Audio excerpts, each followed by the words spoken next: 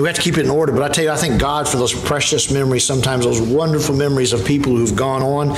And just, I, I thank God that He's taken the stench out of death. Where death is a sting, where there's a victory, oh, grave, where's there victory? He takes that stench out of it and replaces it with just peace and comfort. Thank Him so much.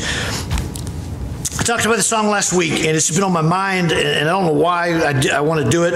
And I told that to Sue, and she goes, "Well, if, I know why, because God's told you to do it, and so this is what we're going to do." And I don't know if we we grasp when we say I'm a child of the King. We don't have a king here in this country, and so I don't know if we can grasp that what that really is.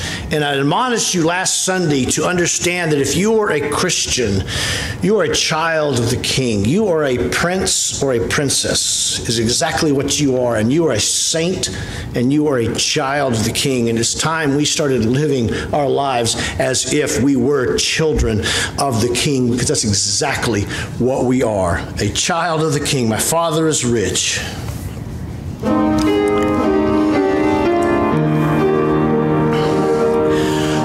My Father is rich in houses and lands.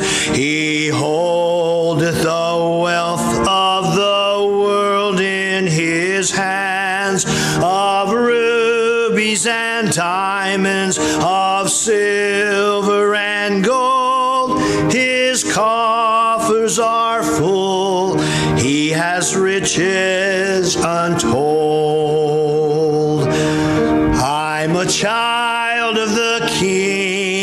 A child of the King with Jesus, my Savior. I'm a child of the King. My Father's own Son, the Savior of men, once wandered on earth as the poorest of them, but now he is pleading our pardon on high that we may be his when he comes by and by.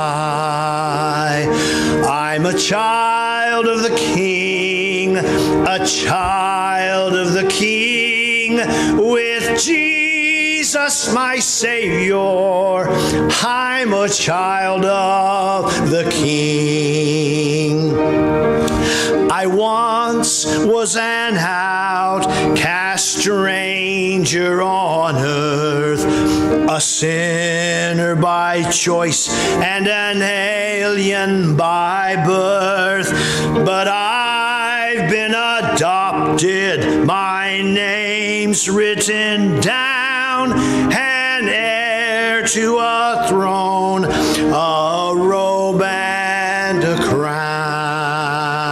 I'm a child of the King, a child of the King, with Jesus my Savior. I'm a child of the King.